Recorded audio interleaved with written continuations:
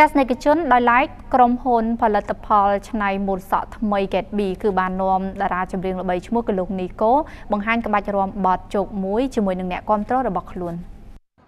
កាលពីយប់មិញនេះលោកនីកូបានចេញបទចម្រៀងថ្មីគឺបទជោគមួយសម្រាប់រាំលេងនៅក្នុងឱកាសបុណ្យចូលឆ្នាំប្រពៃណីខ្មែរខាងមុខនេះបទចម្រៀងដ៏ពេញនិយមនេះគឺបានតាក់ទាញការគ្រប់គ្រងយ៉ាងខ្លាំងពីយុវវ័យជាពិសេសមានអ្នកគ្រប់គ្រងតារាសម្ដែង និងសិល្បករល្បីៗនិងបងប្អូនខ្មែរនៅប្រទេសជាច្រើនបានរាំ cover បទនេះយ៉ាងច្រើនថែមទៀតផង។ ជោគមួយគឺឆ្នៃចេញពីចង្វាក់ជោគកំពឹសដោយបានកែច្នៃភ្លេងថ្មីនិងក្បាច់រាំឲ្យកាន់តែមានភាពតាក់ទាញមិនគ្រាន់តែជាក្បាច់រាំនិងបទចម្រៀងប៉ុណ្ណោះទេជោគមួយគឺម៉ូតសក់ថ្មីដែល Get B បានណែនាំសម្រាប់ឱកាសបុណ្យចូលឆ្នាំថ្មីប្រពៃណីខ្មែរខាងមុខនេះគឺម៉ូតសក់ជោគទៅក្រោយដើម្បីទទួលបានម៉ូតសក់ជោគទៅក្រោយនេះយុវជនទាំងអស់គ្នាអាចប្រើប្រាស់ផលិតផលឆ្នៃម៉ូតសក់ថ្មីរបស់ Get B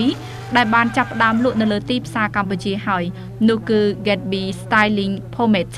Getby គឺបាននាំលោកនីកូទៅបញ្ញាអារម្មណ៍អ្នកគាំទ្រនៅតាមទីប្រជុំជនរឿងភាពយន្តនិងផ្សារទំនើបនានាដោយបានធ្វើឲ្យអ្នកគាំទ្រមានការភ្ញាក់ផ្អើលនិងបង្កបរិយាកាសសប្បាយរីករាយយ៉ាងខ្លាំង។ គួរបញ្ជាក់ថានៅមុនចូលឆ្នាំប្រពៃណីខ្មែរខាងមុខនេះ Gatsby បានណែនាំនៅម៉ូតសក់ថ្មីរួមជាមួយនឹងផលិតផលថ្មីសម្រាប់ច្នៃម៉ូតសក់ជោគទៅក្រោយ គឺ Styling Pomade Supreme Crease និង Styling Pomade Supreme Hole សម្រាប់ម៉ូតសក់ Pompadour